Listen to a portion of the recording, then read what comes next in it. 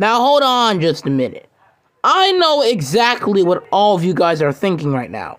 So basically, I think you guys might ask, why didn't you just make a video about your Christmas design sometime earlier?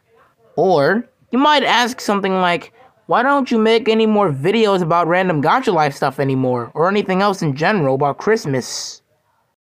Well, I think it's time I gave every single one of you a very honest piece of information. This will answer all the questions on why I haven't made gacha videos in a while and just random jump scares nonsense.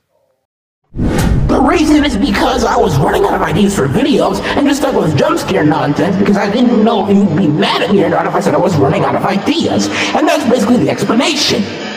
But let's not elaborate on that right now for the moment. That doesn't really matter at this point. What does matter is that I managed to get some of my videos out in time and kept you waiting for the upcoming Christmas video that will be expected to come just right after tomorrow. Anyways, I guess that's enough out of me. I'll see you in the next video that releases tomorrow. And yeah, this is good old green signing out.